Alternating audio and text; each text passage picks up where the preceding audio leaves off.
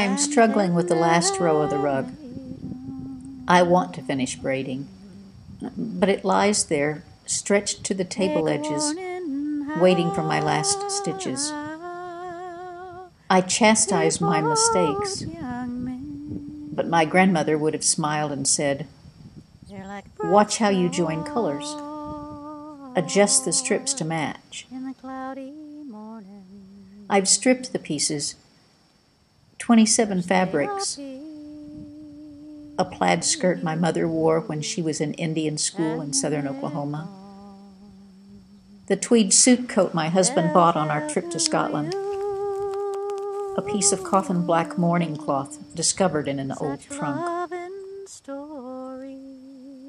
My grandmother's hands, curved with arthritis, cut and rolled strips, planning another rug even at 93. New fabric's not the same, she'd say. It don't carry the stories. Even old wool, fresh washed, smells of sheep. Sometimes, as a child, I'd walk barefoot across her rug, feeling it give beneath my toes, soft in summer heat. Later, I hesitated, honoring her work. Nonsense, she'd say. Use the beauty in this world. That's what it's for. At the last, her crippled hands plaited the empty air above worn sheets. Beside her bed, a basket of braids now disappeared into the rug on the table, just as she taught me.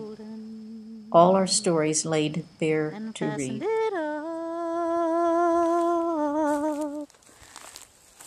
With a ball and chain.